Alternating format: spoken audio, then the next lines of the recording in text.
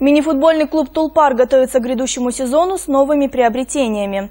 В конце августа завершился студенческий чемпионат мира, где казахстанцы, основу которой составили воспитанники Караганды, заняли девятое место, выйдя из сложнейшей группы.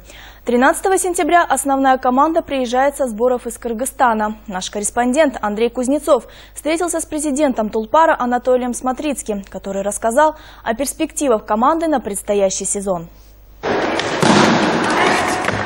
Есть много мальчишек и, и малышей, в том числе в этом году мы э, первый раз делали большой набор 6-7 леток, много хороших мальчиков интересных. Есть, конечно, моменты такие, он то в один вид спорта, то в другой как бы колеблется, но это в младшем возрасте, как правило. А уже 15-16-летние мальчики, они серьезно нацелены вот на эту команду, как бы у них есть куда стремиться, есть цель. Эти мысли тренера мальчишек взялись не с потолка, ведь казахстанский мини-футбол, или как его принято называть футзал, идет двумя путями. Первый – найти богатых спонсоров, как бессменный чемпион, входящий в четверку лучших клубов Европы, Алматинский Кайрат, а второй – идти путем Тулпара развивать собственную школу. Мы пригласили бразильца нового, Паула. Он сломался на сборе на Иссыкуле тоже, буквально в первый же день.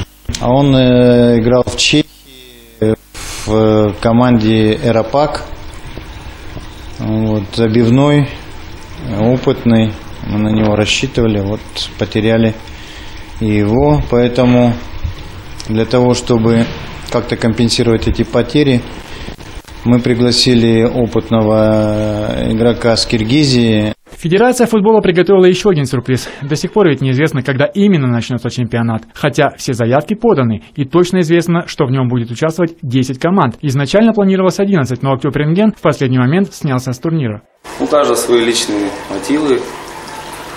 Кому как бы что. Анатолий Смотрецкий считает, что шансы бороться за титул с Кайратом все-таки есть. Ведь выигрывали же неоднократно Кубок Казахстана, а в нынешнем календарном году и вовсе Суперкубок, причем в Алматы. 20-25 сентября нас ожидают игры на Суперкубок с Кайратом. 20 в Алмате, 25 здесь в нашем комплексе. И несмотря на все непонятности, сезон пройдет по схеме гостевой домашний матч. В этом году система остается прежние 9 легионеров заявки, 4 в составе на матч. Так что все в интересах Кайрата сохранено.